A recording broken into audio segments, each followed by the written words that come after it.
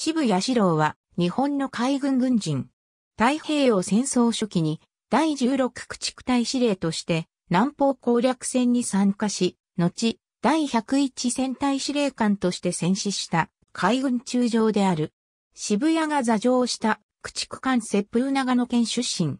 海軍兵学校44期で、席次は95名中32番。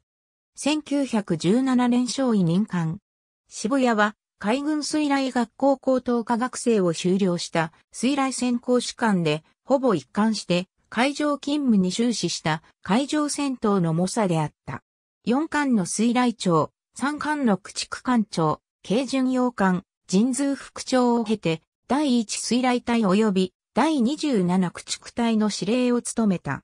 この間1928年少佐、1934年中佐へ進級。1939年11月大佐へ進級し、第1総会隊司令、第7駆逐隊司令を経て、第16駆逐隊司令に就任。太平洋戦争改正を迎え、南方攻略作戦、スラバヤ沖海戦、ミッドウェー海戦で指揮を取った。軽巡洋艦、アブクマ艦長に転じ、アッツ島沖海戦、キスカ島撤退作戦に参戦。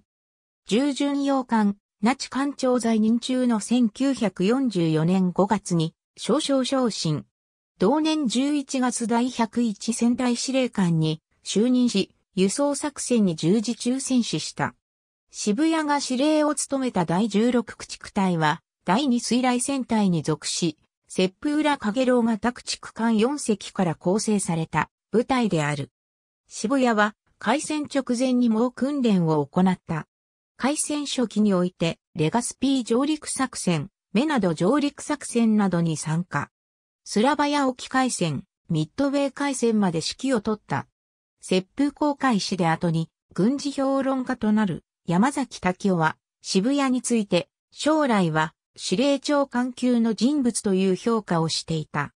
スラバヤ沖海戦渋谷は、スラバヤ沖海戦、アッツ島沖海戦に参戦しているが、両海戦ともに戦術的な批判がある。日本海軍は、後継に勝る砲戦と酸素魚雷のかける総距離というアウトレンジ能力に頼ったことなどが原因で有利な立場を活かしきれなかった。渋谷は一部隊の指揮官であったが、その無念を示す逸話がある。なお、スラバヤ沖海戦では、魚雷の爆発、トガリ過敏による自爆という問題が明らかとなっている。第101戦隊は、日本海軍最初の戦団護衛専門部隊で、危機的状況にあった海上交通確保の任に当たる部隊である。それまで護衛部隊司令部と護衛艦艇は臨時編成であったが、海上護衛総隊の専門部隊創設要求により設けられ、機関、カシーの他解剖艦6隻で構成されていた。1944年12月に非85戦団の日本から30区までの護衛に成功。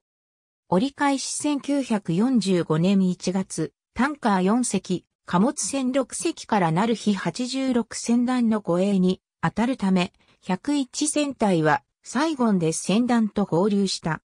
この船団は、米国のフィリピン上陸作戦を援護する、ハルゼイ部隊の航空攻撃を受け、解剖艦3隻を残し壊滅。渋谷は戦死した。日本はこの日1日で、船舶33隻、艦艇13隻を失った。水雷長を務めた、艦、艦長を務めた、駆逐艦、ハット ABC、海上護衛船、決死の油輸送に終止符立たる、ハット AB、切風ハチンまず第一部、日本海軍失敗の本質第四章、長打を逸した三つの海戦、艦長たちの太平洋戦争続編、PP 186から187。ありがとうございます。